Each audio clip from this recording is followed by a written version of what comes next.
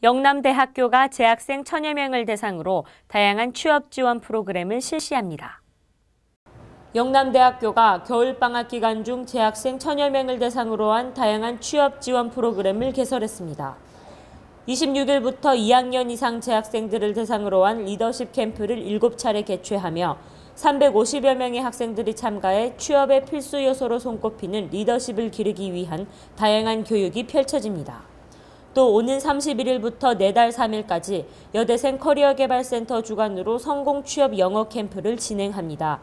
4명의 외국인 강사와 2명의 한국인 강사가 함께하는 이번 캠프는 남녀 재학생 60여 명이 참가해 이력서, 자기소개서 등 취업에 필요한 각종 영문 서류 작성은 물론이고 영어 토론과 영어 면접 등에 대비한 실전 교육도 받게 됩니다. 이 밖에도 취업 상식 특강, 한자 자격 시험 특강 등 각종 특강과 중견기업 취업을 위한 취업 역량 강화 캠프도 잇따라 개설할 계획입니다.